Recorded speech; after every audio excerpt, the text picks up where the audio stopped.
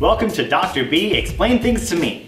I'm Dr. Lillian Beaker-Boomin. I love science. It explains the way the world works. Because of scientific discoveries, we found the Earth travels around the sun, modern medicines, and even traveled to the moon because of scientific discoveries.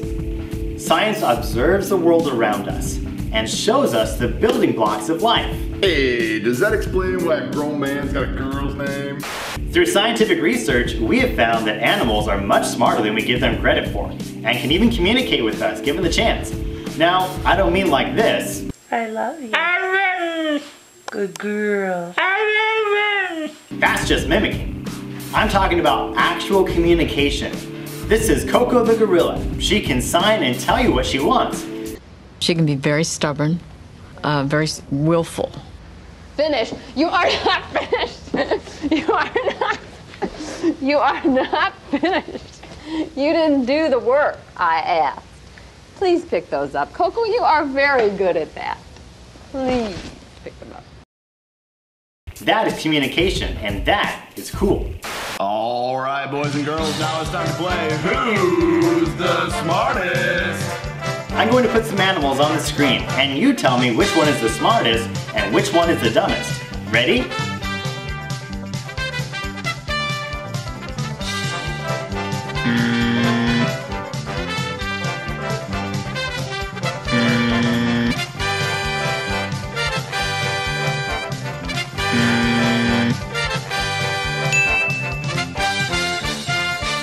Dogs are really smart.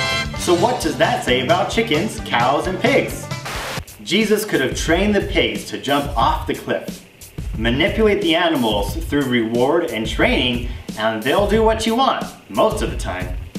tall and tan and young and lovely. The girl from Ipanema goes for. Dr. B, explain it to me. Animal training. What? Put this on.